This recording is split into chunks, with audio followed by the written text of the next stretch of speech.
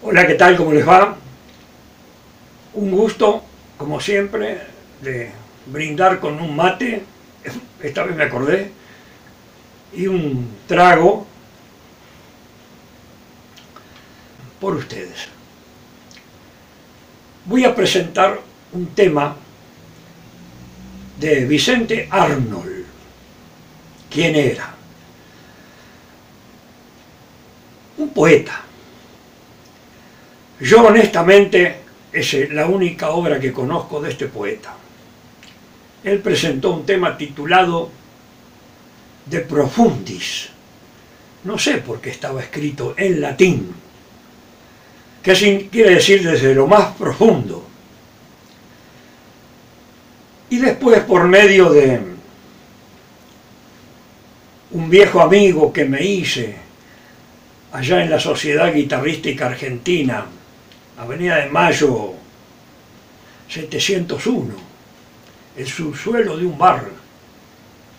Ahí conocí grandes guitarristas. Había un, un guitarrista, un militar, que tomó el gobierno interino antes que asuma el general Perón. Se llamaba Edelmiro J. Farrell lo vi tocando la guitarra clásica a las mil maravillas. Yo, muchachito de 18, 20 años.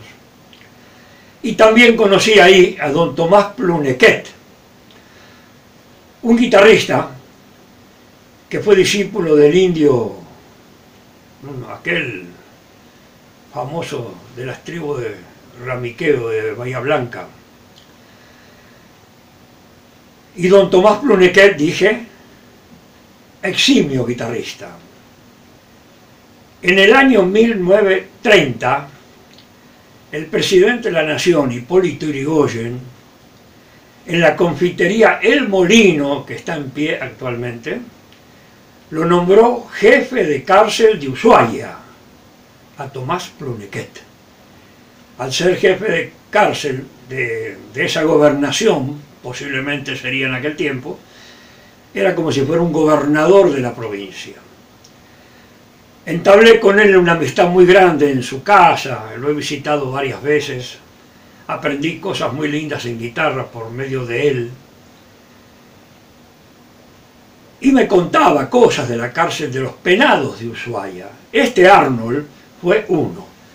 Ahí él tenía muchos, si los nombro, me voy a equivocar de varios. Conocí la vida de Radovisky, conocí la vida de... Se me escapan los nombres, sí. De grandes pintores. Entonces a los poetas, los pintores, los tenía a todos apartados. Generalmente eran presos políticos, en esa cárcel que Domingo Faustino Sarmiento la hizo construir en la isla de los estados, y como se morían por la bruma de tuberculosis, tuvieron que pasar la isla a, donde hoy es Tierra de Fuego, la provincia, que la cárcel en este momento creo que es un museo. He leído mucho ahí porque yo actuaba en unos cruceros que iban al, al Polo, Islas Malvinas, parte de... Bueno, y a veces hacían el cambio turístico de Tierra de Fuego a Buenos Aires y hacían el contingente cambios de aviones y yo me quedaba una semana ya sin saber qué hacer y encontré en la biblioteca un amigo de acá de, los pagos de Barracas al Sur mío y pude ver archivos preciosísimos, preciosísimos. Puedo hablar de, del petiso orejudo, allá con el cura Sin, que estaban en esta parte de acá de Ushuaia, Río Grande, sí. Conversamos mucho al respecto. Este trabajo entre la vida y la muerte de Arnold eh, también eh, tiene un subtítulo, em, dije, de profundis, o entre la vida y la muerte. Lo he rescatado prácticamente desde la neblina, ¿eh? diría yo. Espero que les guste. Hay gente que, con mucha gente conoce fragmentos de esto, pero es una cosa muy, muy, muy seria. Espero que sean del agrado de todos. Gracias, gracias y gracias.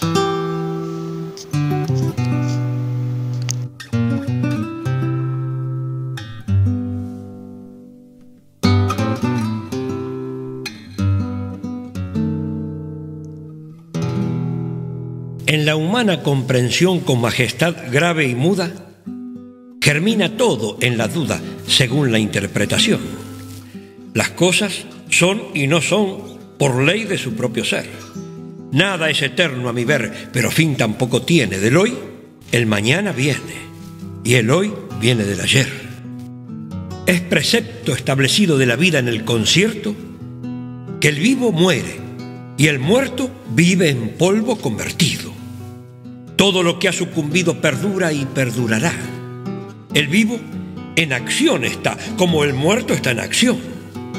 Cual punto de intercepción entre el ser y el que será. El hombre vivo se agita sosteniendo su defensa, con un cerebro que piensa y un corazón que palpita. La vida que se le quita se da a su cuerpo inerte de modo que se convierte en todo tiempo y esfera, en breve compás de espera, entre la vida y la muerte. Cuando se anhela romper el complicado artificio de lo real y lo ficticio, se antepone el puede ser. Si promedia el suponer entre mentira y verdad, por razón de afinidad entre la sombra y la luz, surge también el capuz que es sombra de claridad. Por eso cuando pensando que bien sin querer yo quiero, alcanzar lo que no quiero pero que vivo esperando, la vida me está anunciando la muerte dentro de sí. Y si lo pienso yo así, vivo y muero en un segundo, pues no vivo para el mundo y no he muerto para mí. Los muertos en vida están, los vivos en muerte bregan. Unos vienen y no llegan, otros llegan y se van. Los vivos son y serán, y si mueren, se examinan. Son cuerpos que peregrinan por misterios empujados, porque hay vivos sepultados, como hay muertos que caminan. Pero mucho, menos, más, parte, mitad, todo, nada, tiene la ruta marcada del siempre, nunca, jamás del sí, del no, del quizás. Puede el tiempo establecer que si la vida es poder, no es menos poder la muerte, que en la vida se convierte en la muerte de su ser. El hombre quiere a la vida y la muerte al hombre quiere. El hombre es materia y muere. La vida es muerte vivida. La muerte a vivir con vida, la vida a morir señala y en un derroche de gala cuando ajusta su cadena, si la vida es cosa buena, la muerte no es cosa mala. Cuando el cuerdo viene loco, loco es un cuerdo al revés. Si lo que ha sido no es, no deja de ser tampoco. Y si en su medio coloco vida y muerte se deduce, que si la muerte trasluce cuando la vida se apaga, la vida es muerte que baja la muerte es vida que luce. Estoy sepultado vivo, pero con todo no he muerto. Vivo muerto, eso es lo cierto, en mi suerte de cautivo. Argumentando el motivo de que un muerto en vida soy, a la muerte en vida voy, pues visto de todos modos, soy un muerto para todos, pero existo donde estoy. Del poeta Vicente Arnold, Entre la vida y la muerte,